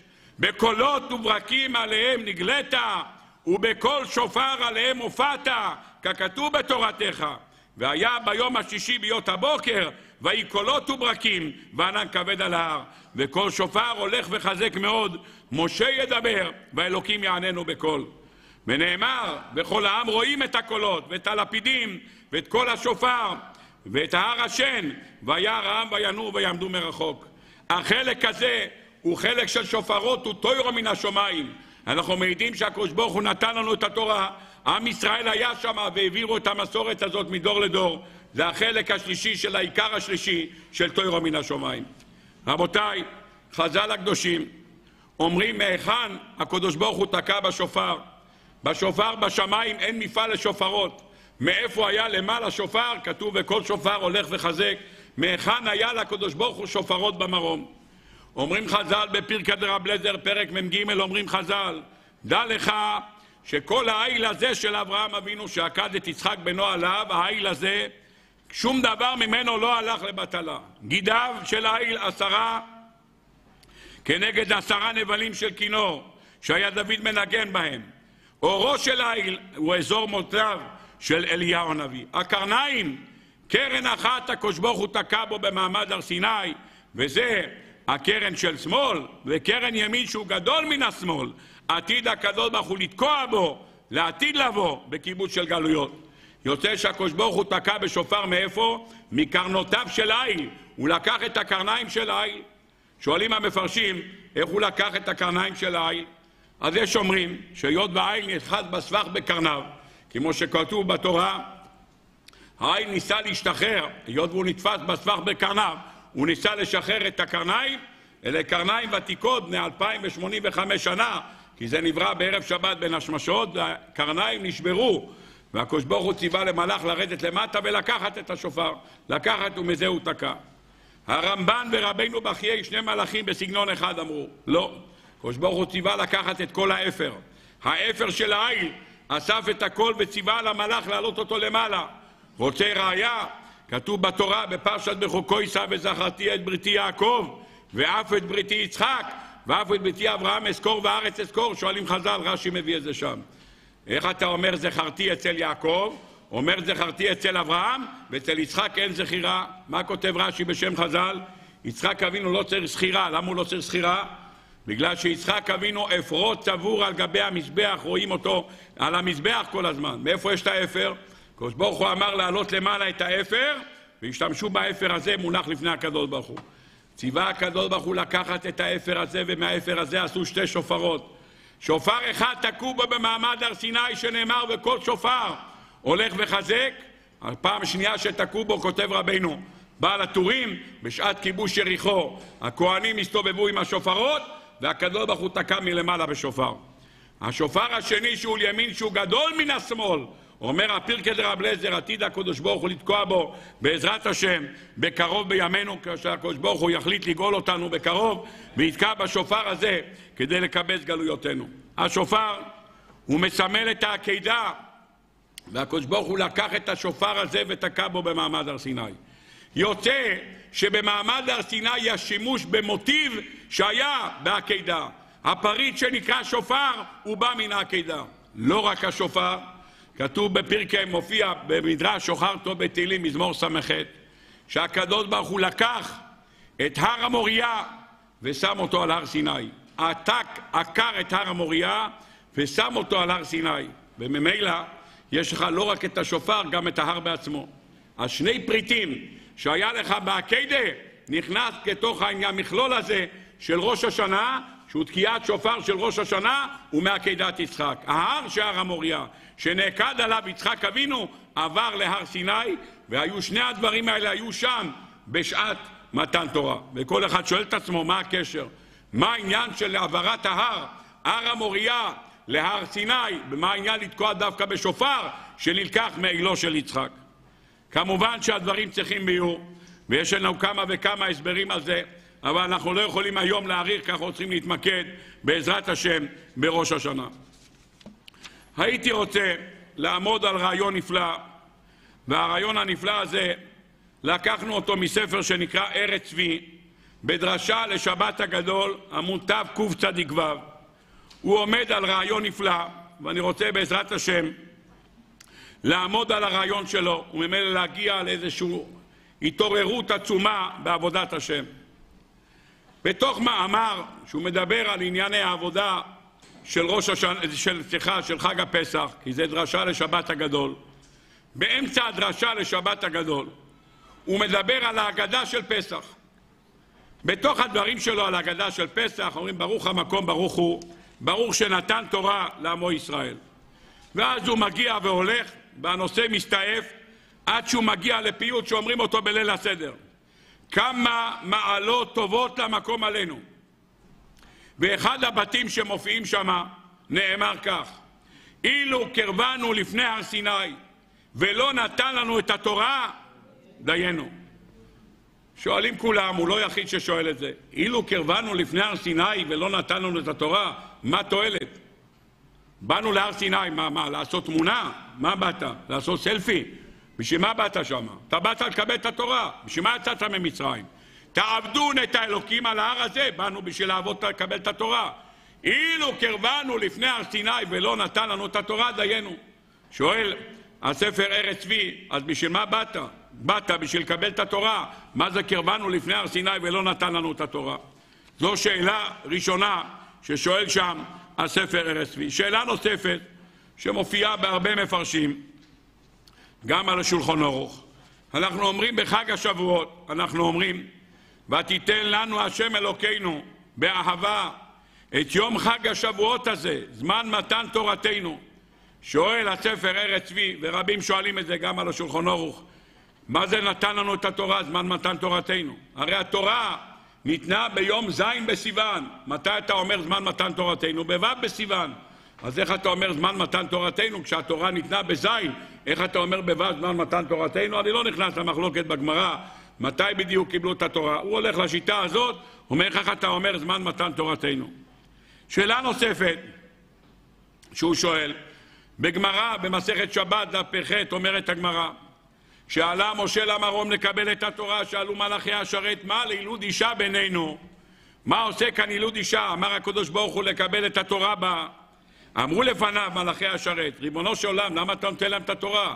תנע אותך על השמיים, תשאיר את התורה פה. למה צריך לתת להם את התורה? אמר להם הקדוש ברוך הוא, לא, אתה משה רבינו, תענה להם תשובה.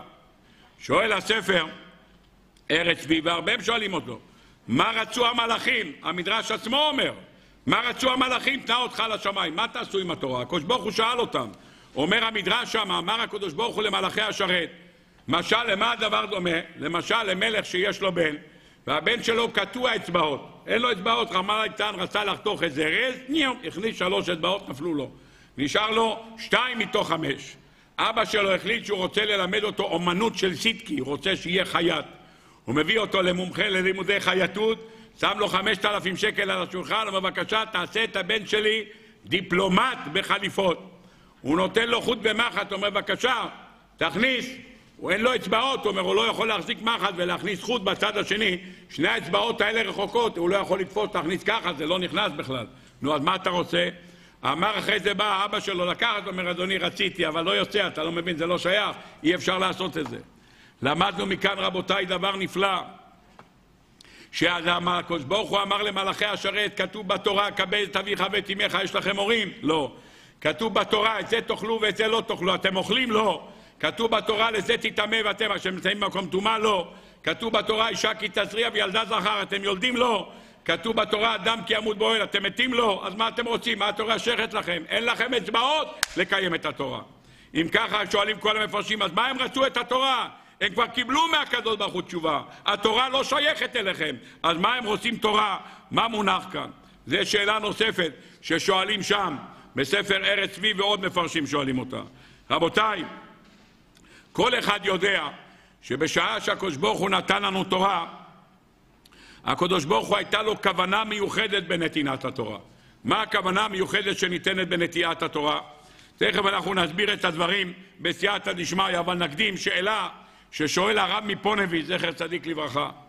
הוא אומר, מה הבעיה? מלאכי השרת רוצים תורה, תנה אותך לשמיים, תן להם. תעשה שכפול של התורה. מה אתם רוצים? תורה? בבקשה, תיקחו. יש לכם תורה, יש שתיים. שתיים, אחד למעלה, אחד למטה. מה הסיפור שלכם? מה אתה נותן לתורה? תנה אותך לשמיים. בבקשה, תשאיר פה את התורה, הכל בסדר גמור. אפשר להשתמש בתי תורות והכל יהיה בסדר גמור. מה הסיפור שלך? מה, למה אתה נלחץ ללחץ בנושא הזה? אז יהיה שתי תורות, אחד למעלה ואחד למטה. זו השאלה נוספת ששואל הספר ארץ צבי. רבותיי, בואו נלך לדברים שלו, לתחילת הביאור של הדברים שלו. ויש לנו כאן אור חדש על ציון תאיר בסייעתא דשמיא. הוא מביא את הגמרא במסכת בבא קמא. אומרת הגמרא במסכת בבא קמא, מעשה בביתו של נחוניה חופר שיחים. מעשה בבת של נחוניה חופר שיחים שנפלה לבור גדול. רב נחוניה חופר שיחים עשה חסד גדול עם עם ישראל. עם ישראל עלו לרגל. לא היה ברזים בדרך, לא היה קיוסקים, לא היה תחנות דלק, לא היה ילו, לא היה לך איפה לקנות שתייה. אתה צריך לשתות משהו בדרך, צריך לקנות, לתת לחמורים לשתות, לסוסים לשתות, לגמלים לשתות, מאיפה יש לך את זה? אין לך שום דבר, מה תיתן להם לשתות? מה עשה הצדיק הזה, נחוניה חופר שיחים? חפר בורות, בורות עמוקים, 50 מטר עומק, סד אותם בסין, נכנסו מי גשמים בתוכו, כיסה אותם עם הנול, וכל פעם שעלו לרגל הוא פתח, ואנשים היו מוציאים משם עם דליים, הוא שם שם דליים, היו מכניסים, מעלים, שמים לפני הסוסים והגמלים, הוא שם שיקתות שם בכל מקום, שיהיה להם לשתות לחמורים ולסוסים ולגמלים. יום אחד אומרת הגמרא, יום אחד מה עשה? הבת שלו שיחקה ליד אחד הבורות, והבור הזה היה פתוח, לא היה מכוסה. מה עשה? הבת שלו נפלה לתוך בור. רבותיי, אתה מדבר בדורות ההם, אין אפשרות להוציא ילד מבור. בור עמוק 50-60 מטר עומק, לך תוציא אותו. אין לך צוללנים, וגם אתה צריך להגיע בשנייה בשלוש-ארבע דקות, אחרת זה כבר המוח לא מקבל חמצן, והבן אדם מסתלק לבית עולמו. צריכים לעבוד בזריזות. איפה תמצא בן אדם, תוריד אותו למטה, צריך להביא בלוני חמצן ולשים אותו רק לחלץ את הגופה. סיפור שלם. צריכים לרוקן את כל המים עד שאתה מגיע לגופה ומוציא אותה למעלה. איך אתה מציל ילדה כזאת, רחמנא ליצלן, שנפלה לתוך בור עמוק של מים בלי אפשרות לחלץ אותה? מה עשו? כשאין אפשרות לחלץ, דבר ראשון הולכים לצדיק של הדור. מי זה הצדיק של הדור? מי זה היה? אומרת הגמרא, רב חנינא בן דוסה. רב חנינא בן דוסה שרבי יוחנן בן זכאי העיד עליו בגמרא במסכת ברכות שהדין שלו שהוא עבד קמא מרי. כי אשתו של רבי יוחנן בן זכאי שאלה מה אתה מבקש ממנו? אתה לא צדיק יותר ממנו? אמר אני כשר לפני מלך והוא כעבד לפני מלך. שר כשרוצה להיפגש עם מלך או רוצה להיפגש עם ראש ממשלה הוא פונה לרל"ש, שפונה לממ"ש, שפונה לחשחש, עד שמקים לו פגישה, ובפגישה הזאת בעוד חמישה ימים, בין ארבע לשבע. אבל אדם שהוא עבד, זה שמביא שם את השתייה בחדר של הראש ממשלה, בחדר של המלך, הוא נכנס ויוצא, הוא יודע את הקוד, לוחץ 1, 2, 3, 6, נכנס בפנים, שם סודה. אדוני אומר, אתה רוצה משהו? אומר, כן, תביא גם תפוזים. יוצא, נכנס עוד פעם. הוא נמצא הכי זמין ליד האוזן של המלך, הוא כל הזמן שמה. אומר רבי יוחנן בן לאשתו, רב חנינא בן דוסה, כעבד קמא מרי, הוא כמו עבד לפני הקדוש ברוך הוא. רצו לרב חנינא בן דוסה, אמר להם, רבותיי, היא בסדר, אין לכם מה לדאוג. הילדה בסדר. אמרו לו, כבוד הרב, איזה בסדר? נפלה למים 50 מטר עומק, על מה אתה מדבר? איזה בסדר? אמרתי לכם בסדר, לכו לחיים טובים ולשלום. חזרו אחרי שעה, עמדו ליד הבאר, הם חוזרים בחזרה לבאר, לאותו מקום שרב נחוניה בן חסכים חפר. שאלו את כולם שם, הלו, הוא יצא הילדה? אומרים, לא. רצו חזרה לרב חנינא בן דוס, אמרו, רבה, כבר שעה שנייה היא בתוך המים, מה עושים? אמר להם, אל תדאגו, כבר יצא בסייעתא דשמיא, סליחה, היא בסדר. אמרו, מה בסדר? חזרו בחזרה לבאר. אמרו, יצא? אמרו, לא, לא יצא, לא ראי, שמענו שיצא. בקיצור, כבר שעה שנייה. שעה שישית באו לרב חנינא בן דוס, אמרו, רבה, הילדה עוד לא יצאה. אמר, למה אתם לא מבררים בבית? הילדה כבר בבית. רצו כולם הביתה. מוצאים את הילדה בבית. שואלים את הילדה, תגידי, מי העלה אותך מתוך הבור? לא ראינו בכלל שיצאת. מי העלה אותך מתוך הבור? אמרה להם, זכר של רחלים מזדמן לי, וזקן אחד מנהיגו. פתאום הגיע איל, הגיע איל אחד, זכר של רחלים, ועליו רכוב זקן אחד. מי זה האיל הזה ומי זה הזקן? אומר רש"י. האיל זה אילו של יצחק, הזקן הוא אברהם אבינו. ככה כתוב ברש"י. שמעתם? יחידת חילוץ 669 הגיעה לחלץ את הילדה בתוך מי? אברהם אבינו עם העיל. זה בא של לחלץ אותו. בא הספר, בא הספר של האדמו"ר מקויזנגלוב ושואל שאלה, ממתי משתמשים באברהם אבינו לחלץ אנשים? למה? אומר, בכל מקום שאתה צריך לחלץ מישהו, עם מי אתה משתמש? מי משתמשים? אליהו הנביא. אליהו הנביא זה מחלץ האנשים מכל צרה, מי שצריך צרה, אליהו הנביא. רוצים דוגמאות? בגמרא במסכת, הוא לא מביא את הדוגמאות, הוא אומר יחידת החילוץ זה אברהם אבי, זה אליהו הנביא, רוצים דוגמאות. גמרא בברכות נ"ח אומרת הגמרא שרב שילה, אומרת הגמרא, הילקה בבית דינו בן אדם אחד, שמה עשה? שהלך והתחתן עם אישה מצרית. הלך להתחתן עם אישה מצרית, והוא הלך והילקה אותו, נתן לו מלכס. אחרי שהוא נתן לו מלכס, מה עשו? אחרי שהוא נתן לו את המלכות, מה עשה? רץ למלך ואמר למלך שרב שילה פתח לעצמו טריטוריה. הוא מדביק, הוא מעניש, הוא עושה את כל הפעולות, הוא הבעל הבית, מה זה פה? הזמינו אותו מהמלך, אמרו לו, מה? הקמת לך בית משפט פרטיזני, מהצד אתה עושה דברים? הסמכות של בית המשפט העליון בהרכב של 15 שופטים, הוא יכריע. עם הדבר הזה אתה יכול לתת מכות למי שהתחתן עם. אדרבה, יש לנו עניין להביא את האריתראים לפה. צריך לקחת, לשתף אותם. אתה לא יכול לעשות דבר כזה. בקיצור, אמרו לו שהתחתן עם מצרית, אבל הוא לא אמר את זה למלך. הוא אמר למלך משהו אחר. מה הוא אמר? הוא אמר שהוא התחתן לא עם מצרית, הוא בא לפועלים של המלך ואמר, אתם יודעים מה הוא עשה? התחתן עם חמור! זה מה שהוא התחתן. חמור! חמור זה מצרים, בשר בחצר, חמורים בשרם. כן, אמרו לו, מה? עם חמור הוא התחתן? אומר, כן. יש לך עדים? כן. פתאום הגיע אליהו הנביא. העד הראשון אומר, אני אומר לכם, מתחתן עם חמור, אני הייתי בסידור קידושין שם, התחתן עם חמור. אמרו לו פקידי המלך, התחתן עם חמור? למה לא הרגת אותו? למה רק מלכות? היית צריך להרוג אותו. נו, אז כאילו מישהו נמצא בצרה, רב שילה נמצא בצרה, מי מחלץ אותו? אליהו הנביא, יפה מאוד. גמרא במסכת שבת, אומרת הגמרא רב שימי בראשר, בלה נחש. בלה נחש בטעות, לא יודע איך נכנס נחש, אולי פיהק, נכנס בתוכו נחש. והנחש נכנס בתוכו, נחש בתוך הבטן, סכנת נפשות. מה עשה? בא אליהו הנביא, אומר המדרש, התחפש כמו פרש והריץ אותו. הוא רץ, רץ, רץ, והגוף שלו נכנס ללחץ, נכנס להבל, ומההבל של הנחש, מההבל של הריצה והפחד, מת הנחש. נו, אתה רואה שמה? שאליהו הנביא יודע לחלץ גם מתוך נחשים. גמרא במסכת עבודה זרה, רבי מאיר, בעלה של ברוריה. רבי מאיר בא אשתו ברוריה ואמרה, תשמע, תפסו את אחותי ושמו אותה במקום טינופת. אני לא יכולה לעמוד בזה שאחותי נמצאת במקום טינופת. בבקשה, לך תחלץ אותה, היא אומרת רבי מאיר. רבי מאיר הלך לבדוק אם באמת היא שמרה על כשרותה, הוא בדק שהיא בסדר, הוא שילם שוחד. הוא שילם שוחד ל... לשומר, השומר לא רצה, הוא פחד שיתפסו אותו, אמר בסדר, מחר יבואו יהרגו, אומר אל תדאג. תגיד, אלוקה דמי רנני, תנצל. אומר, מי אמר שזה עובד? מי אמר שזה עובד? אומר לו, זה עובד, אתה רוצה לראות?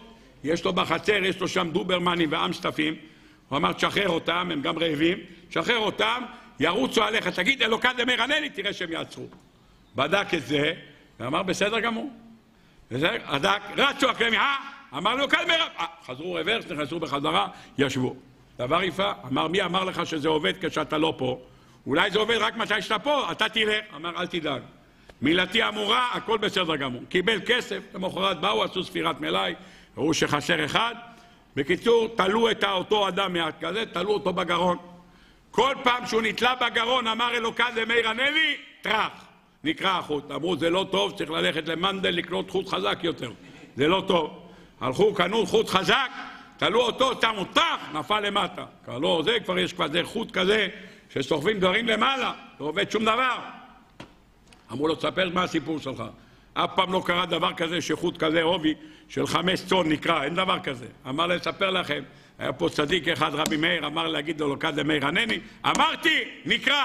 רבו, הכל טוב.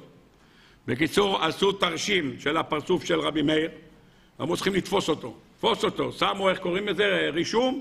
שמו רישום של הפרצוף, ושמו איך, אה? לא, שמו על הקיר, אמרו מבוקש. זה הפרצוף מבוקש, נתנו לכל השוטרים, בבקשה, תביאו אותו חי או מת. נו, חי או מת. יום אחד רואים שתי שוטרים, רואים את רבי מאיר. הנה הוא!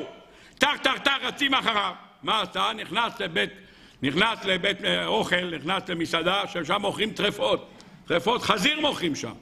נכנס לשם והכניס את האצבע שלו בתוך סיר, הכניס את האצבע וליקק. אבל לא את האצבע הזאת, את האצבע השנייה. הוא דבר את האצבע שלא הייתה בתוך החזיר. עשה ככה ומצץ את זה. אמרו השוטרים, אם זה רבי מאיר היה אוכל חזיר, אה, זה בטח לא הוא, סתם איזה מתחפש לך, זה לא הוא. הנה מי אומרת הגמרא, הגיע אליהו נביא והתחפש לאישה ובא והתחבר לרבי מאיר, אמר, אה, זה לא מתאים, זה לא רבי מאיר. מי זה? אליהו הנביא. פירוש הדבר שנמצאים במצוקה, מי בא לעזור לנו? שואל הספר ארץ צבי אומר, אני לא מבין. מה פתאום הגיע אברהם אבינו רכוב על רחלים? מה הוא עושה שם? למה לא הגיע אליהו הנביא לחלץ אותו? אלה השאלות שלו. רבותיי, בואו נלך לתשובה נפלאה. והתשובה שלו מבוססת על הרבה ספרים בסייעתא דשמיא. בואו נתחיל לבאר את הדברים. הקדוש ברוך הוא יתברך שמו לעד שנתן לנו את התורה. הקדוש ברוך הוא רצה שעל ידי נתינת התורה לא רק שנקבל תורה ונקיים מצוות.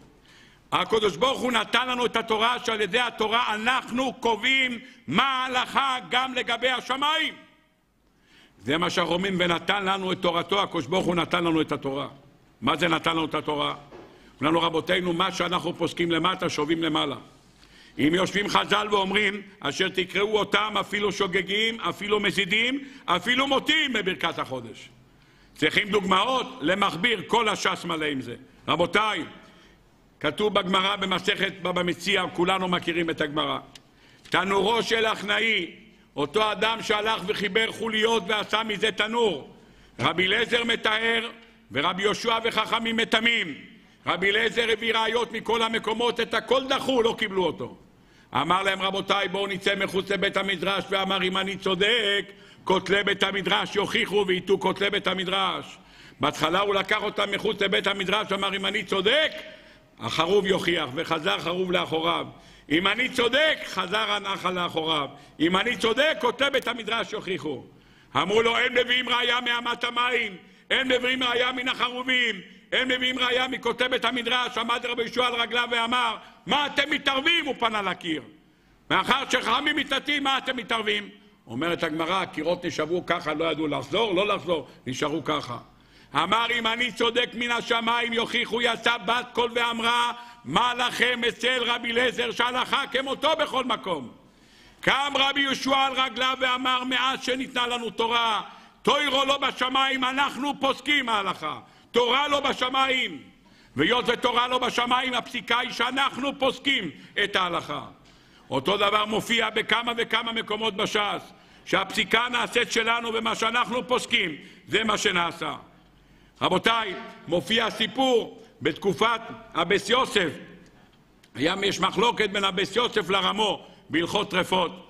בא יהודי לרמו בקרוקה בפוילין, בא יהודי ואמר, כבוד הרב, גילו אצלי מחלה כזאת וכזאת בריאה. אמר לו, אתה רוצה לחיות? תיסע לארץ ישראל, תגור בצפת. אמר לו, מה קרה? בצפת יש יותר אוויר מאשר בקרוקה? אמר לו, לא. כאן בקרוקה, כאן בפולין, אני פוסק שמי שיש לו דבר כזה בריאות, בבהמה, זה טרפה. הוא פוסק שזה כשר, זה לא טרפה. איפה שאני פוסק שזה טרפה, אתה לא תחיה. אם תלך לארץ ישראל, ליד הבית יוסף, שם הוא פוסק שזה לא טרפה, שם אתה תחיה, שם יהיה לך אריכות ימים. כי כל מקום הקדוש ברוך הוא אומר, מה שקובעים למטה, אני עושה למעלה. זה הפסיקה שיש לנו. ובגמרא שמופיע בבוא במציע, מופיע לגבי בהרת, בספק בהרת קדמה לשיער לבן, מטיבתא דרקיע אמרו טמא, והקדוש ברוך הוא אמר טהור. אמרו מי יוכיח? רבא דנחמני, שמה הוא? שהוא אמר את דאגדתא בנושא של טהרות. בא רחמני ואמר טהור, זה היה בשעת מיתתו, אמר טהור, יצא בת קול ואמרה, אשר רב נחמני שאתה טהור, ויצא נשמתך בטהרה, בשעה שאמר טהור. הרמב"ם פוסק על זה טמא. שואל הכסף משנה למה? אומר פשוט מאוד. היות וזה נאמר בשעת מיתתו של רב נחמני, כבר תוירו לא בשמיים, הוא כבר היה עם רגל אחת למעלה. באותו רגע שפוסקים כאן, ההלכה הזאת יש לה שייכות לכל התורה כולה, מה שפוסקים כאן עושים למעלה. אם ככה רבותיי נוכל להבין טוב מאוד. אומר אספס אמס, אומר החידושי הערים, אתה אומר ביום ו' בסיוון זמן מתן תורתנו? איך זה זמן מתן תורתנו? זה היה בזין. אומר החידושי הערים, הקדוש ברוך הוא נענה לבקשתו של משה רבינו לתת את התורה בזין. אז הקדוש ברוך הוא נתן לנו את התורה, אנחנו קובעים מתי תינתן התורה. אז זה זמן מתן תורתנו. מלאכי השרת, מה רצו? תנע אותך על השמיים. מה אתה רוצה? מה תעשה עם זה? אמרו, אין שום בעיות. שואל הרב מפונביץ', תעשה שתי ספרי תורה, אחד פה, אחד למעלה. לא על זה התנהגו, לא זה, הם ידעו שהתורה לא שייכת אליהם. הם ידעו שהתורה שייכת למי? לבני אדם, כבד את אביך ואת אמך, ולא תרצח ולא תנאף ולא תגנוב, והלכות טומאה וטהרה והלכות אכילה, הם ידעו שזה לא שייך אליהם. אם זה לא שייך אליהם, אז מה הם רוצים? תעשה שתי תורות, הם רצו דבר אחד, נע אותך על השמיים, אל תיתן לזה שלמעלה בשמיים יפסקו, ולמטה בארץ יפסקו, ויהיה לזה השלכות בשמיים. זה הם לא רצו. נע אותך על השמיים, תשאיר את התורה כאן, התורה תיתאר כאן, הפסיקה לא תיטלטל למטה. והקדוש ברוך הוא נתן לנו את התורה, שאנחנו נפסוק, ועל פי מה שאנחנו נפסוק, זאת תהיה ההלכה. לזה התנגדו, זה לא יעזור שתי ספרי תורה, זאת הייתה התנגדות. אם ככה אומר הרב, באופן נפלא, בוא ותראה, רב חנינא בן דוסה באים אליו ואומרים לו הבת של רב נחוניה חופר שיחים נפלה לבור. מה אתם חושבים שהיא סתם נפלה לבור? הקדוש ברוך הוא רצה, הייתה לו תביעה על הצדיק שנחם לרב נחוניה ואמר אני רוצה שהבת שלו תמות למה אנחנו לא יודעים? ככה הקדוש ברוך הוא אמר. אומר הרב ארץ צבי, הקדוש ברוך הוא אמר, בא חנינא בן דוסה ואמר, כאן אני פוסק. אני פוסק שלא ייתכן דבר כזה. כשבת של מישהו שחופר שיחים, היא הבת שלו תיפול, דבר שנתעסק בו אותו צדיק, לא ייכשל בו זרו. באותו רגע שהוא פסק כאן, הוא יכל להגיד, עלתה. יצא החוצה. אני פסקתי שהיא תישאר בחיים, איך יצא? מגיע אברהם אבינו. למה אברהם אבינו?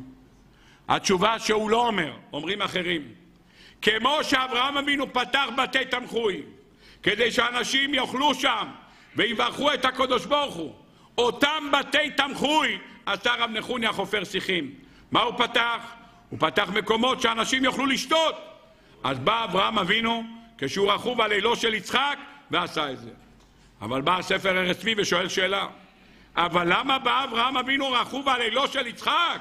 הוא יכל לבוא אברהם אבינו בלי רכוב על אלו של יצחק. אתה רואה שמה? אתה רואה שזה לא קשור לעניין של הכנסת אורחים.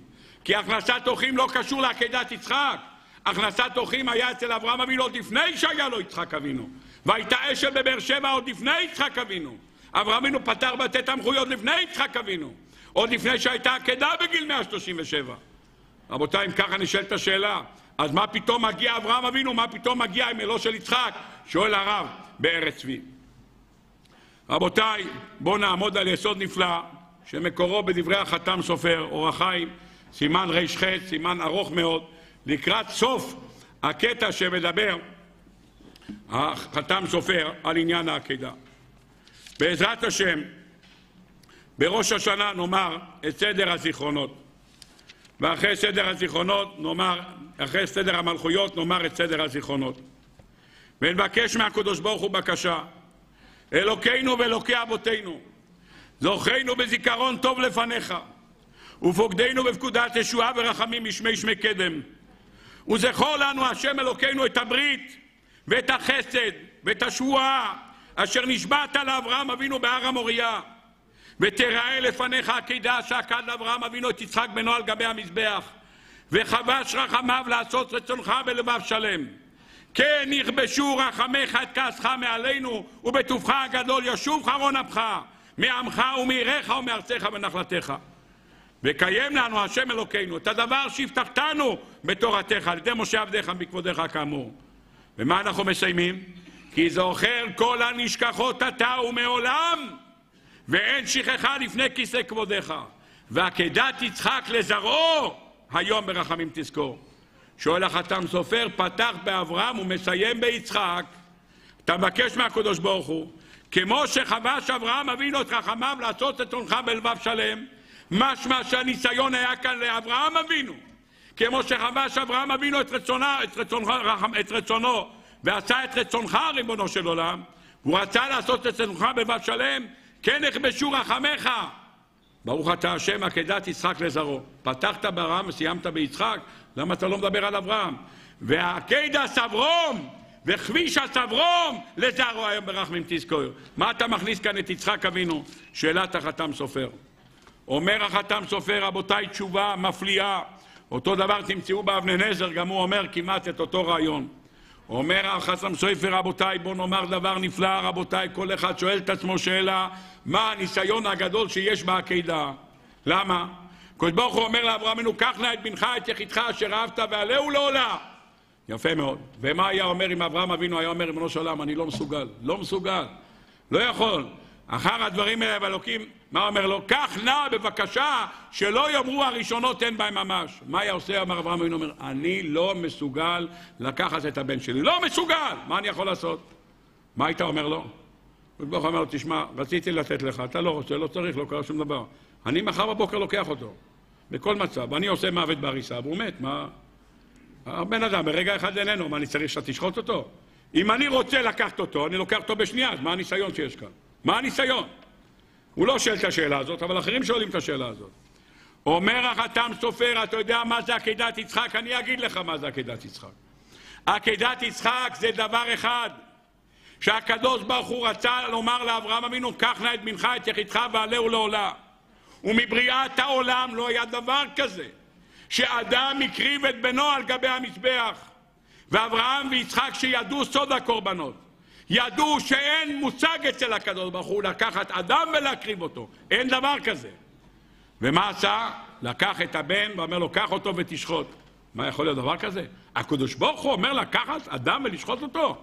אברהם אבינו ידע את סוד הקורבנות, הוא הקריב קורבנות. האדם הקריב שופר וקין הביא, הביא מפרי אדמה, והבל הביא מכורות צונו, ונוח הביא שבעה מינים, ואברהם אבינו בשכם כבר הלך והודה לקדוש ברוך הוא על ידי קורבן. מי מקריב בן אדם? להקריב בן אדם? מי יכול לעשות דבר כזה להקריב בן אדם? ידע אברהם אבינו, רק הקדוש ברוך הוא בא ואומר לו, קח את הבן שלך ותשחוט אותו. אם הקדוש ברוך הוא אומר, מה אני יכול לעשות? אומר החתם סופר, הוא שמע מפי הקדוש ברוך הוא לקחת את הבן ולשחוט. אבל יצחק אבינו, יצחק אבינו לא שמע מהקדוש ברוך הוא. הוא לא חייב לעשות את זה. אם הקדוש ברוך הוא אומר, בבקשה, הוא רוצה שאני אשחט? תגיד לו שידבר איתי. יצחק אבינו בא והרבא שלו אומר לו, קח, בוא, אני הולך לשחוט אותך. אתה הולך לשחוט אותי? על סמך מה אתה הולך לשחוט אותי? הקדוש ברוך הוא אמר, הוא רוצה שאני אשחט? ידבר איתי. אז למה שמע יצחק אבינו בקול אברום? אתם יודעים למה אומר חתם סופר? כי הוא שמע בהוראה של חכם. כי אברום אבינו אמר לו, אני רוצה לשחוט אותך.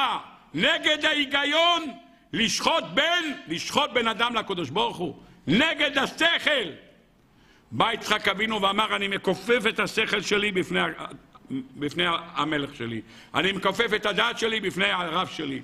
אברהם אבינו אמר, הוא אבא שלי, הוא הרב שלי, הוא הנביא, אני מכופף את דעתי, לא משנה מה אני יודע. אני יודע שאין קורבנות בני אדם, ואני יודע שזה לא יכול להיות קורבנות בני אדם. אבל הקדוש ברוך הוא אומר, אמר לאברהם, אברהם אמר לי, הוא הרב שלי, אני מכופף את דעתי. למה? כי החכם שבדור, אברהם אבינו אמר לי כך לעשות. ואם אברהם אבינו אמר לי כך לעשות, אז אני עושה. אומר החתם סופר, אז מה זה עקדת יצחק? עקדת יצחק, אומר החתם סופר, זה ביטול הדעת שלך לחכומים. אני יודע ואני מבין בתורת הקורבנות, ואני יודע סוד הקורבנות, ואני יודע שאין קורבן אדם. אבל אם אבא אמר, והוא החכם שבדור, אני מכופף את דעתי לדעת גדולי הדור. ואם ככה החכם אמר, אני הולך בעקבותיו. אומר הספר ארץ צבי, רבותיי, בואו נלמד דבר יפה מאוד. מחר, בעזרת השם, לא יהיה שופר. למה? זה חל בשבת. וחכמים אמרו לא לתקוע בשופר. שואל הבן איש חי, מה, לא יתקעו בשופר? השופר מעביר את הקדוש ברוך הוא מכיסא דין לכיסא רחמים. איך אתה מבטל על סנגור כזה? אתה יודע איך אני מבטל? אני דבק בעקדת יצחק של יצחק אבינו. מה עשה יצחק אבינו? ביטל את דעתו לדעת אברהם אבינו החכם. אנחנו מבטלים את דעתנו לדעת חכמים, אנחנו יודעים מה הכוח של שופר, באים חכמים ואומרים, אתה לא תוקע בשופר, בגלל שיכול להיות מישהו בוושינגטון יטלטל שופר ברשות סורבים. אז לכן אני מבטל שופר? ככה חכמים אמרו. אם ככה חכמים אמרו ואתה מכפיף את דעתך לדעת חכמים, זה עקדת יצחק במפורש, זה בדיוק עקדה. שיצחק אבינו כפף את דעתו לדעת אביו. אם ככה אין לך עקדת יצחק יותר מזה, אתה לא צריך לגלל זכויות. זה הזכויות עצמם של עקדת יצחק.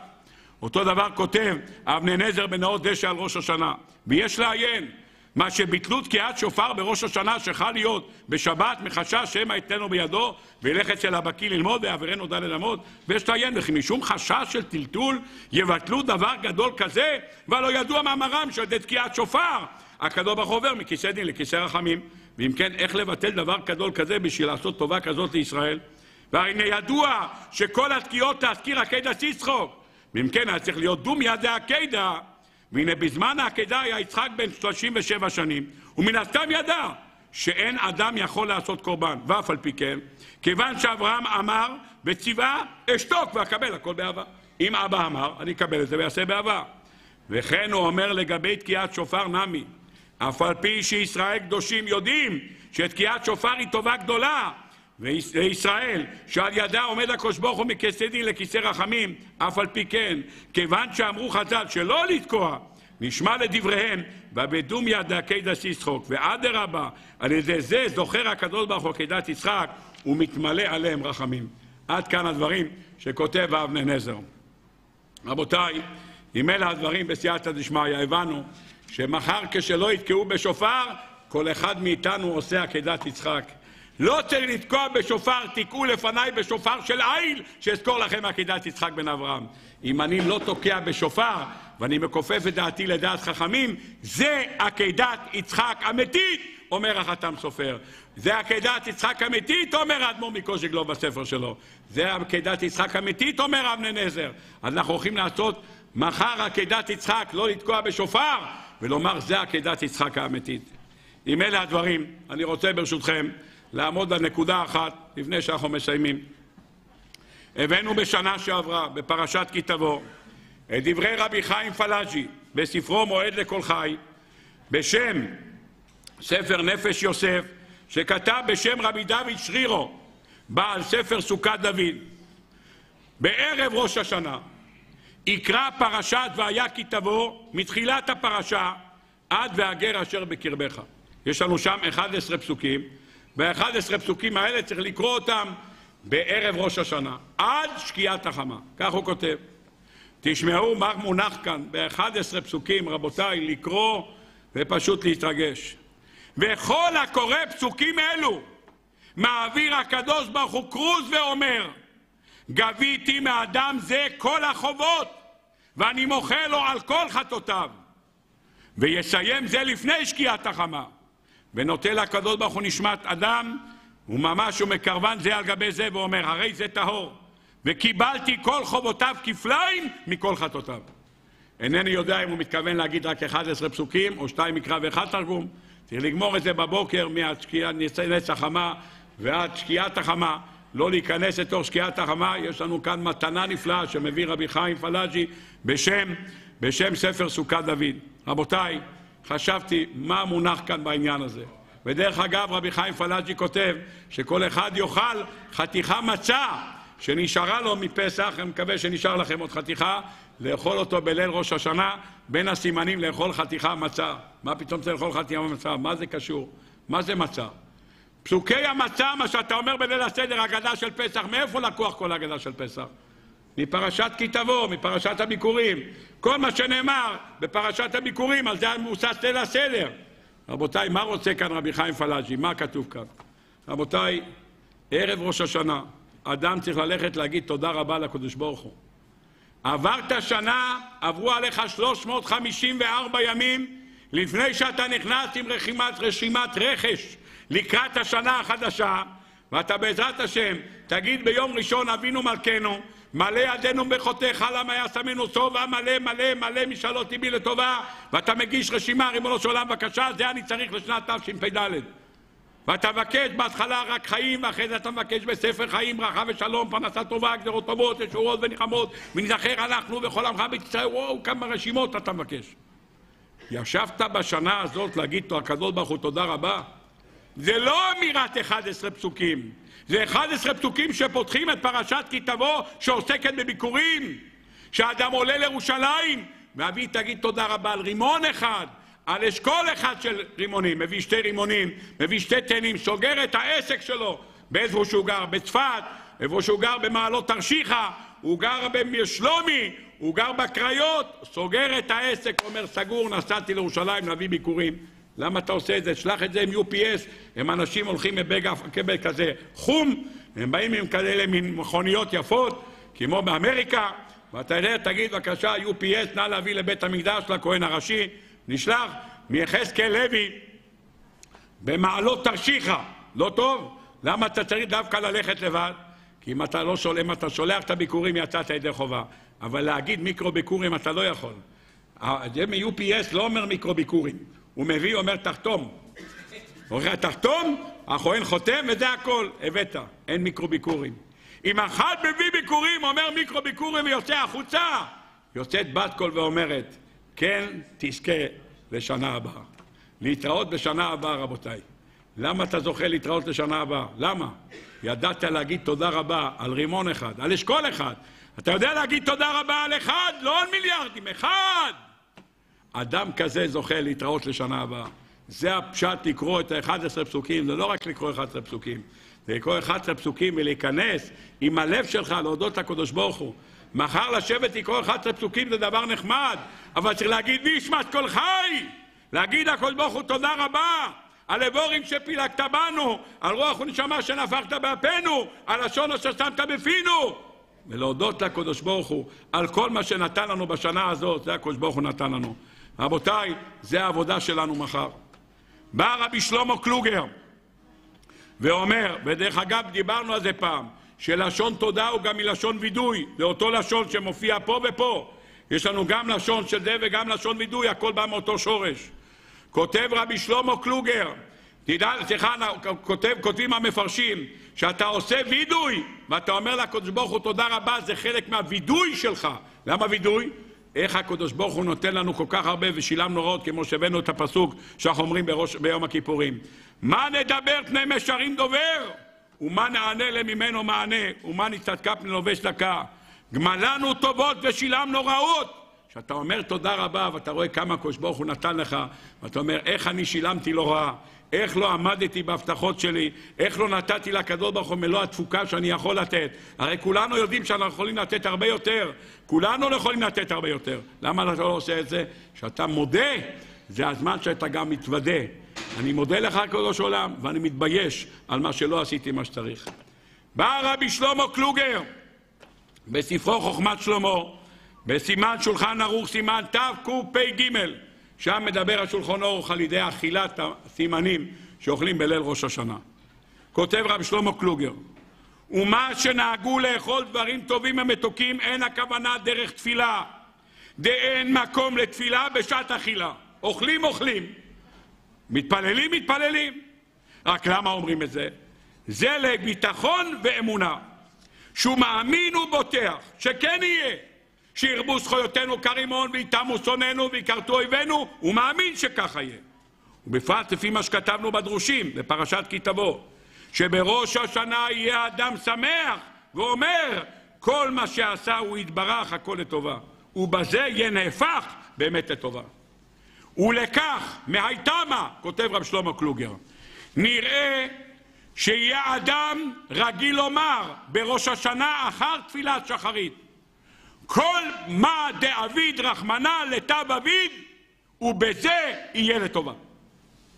גמרת שחיס, בשבת אין אבינו מלכנו, אתה גומר שחיס, בבקשה תעמוד כל הבית כנסת ויגידו בקול גדול כל מן דאביד רחמנא לטב אביד והקדוש ברוך הוא ידע שאנחנו כך נאמר כך הוא יעשה שהכל יהיה לטובה.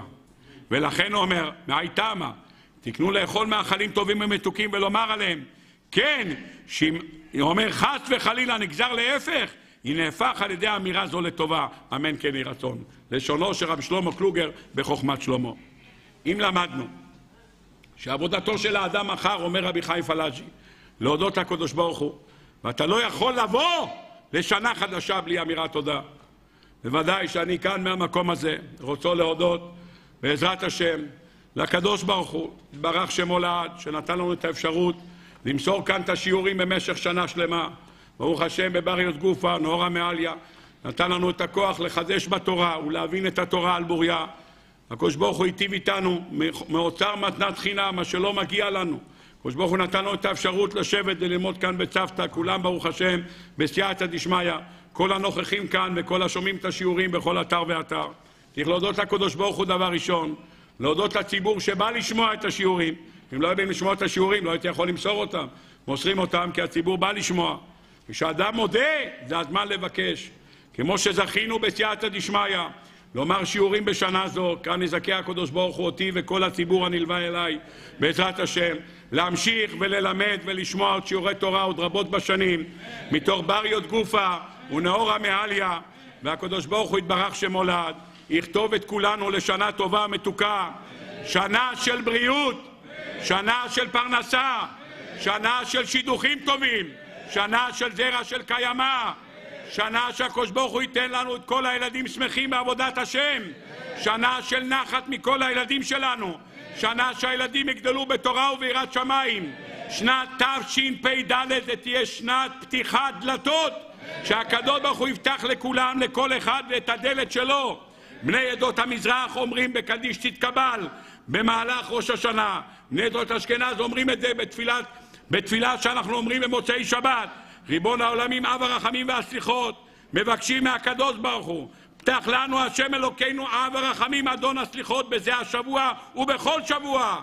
שערי אורה, שערי אורך ימים ושנים, שערי אריכות אפיים, שערי ברכה, שערי בינה, שערי גילה, שערי גדולה, שערי גאולה, שערי גבורה, שערי דיצה, שערי דעה, שערי הוד, שערי הדר, שערי הצלחה, שערי הרווחה, שערי ועד טוב, שערי זריזות, שערי זמרה, שערי זכויות, שערי זיו, שערי זוהר, מלא שערים יש לפתוח.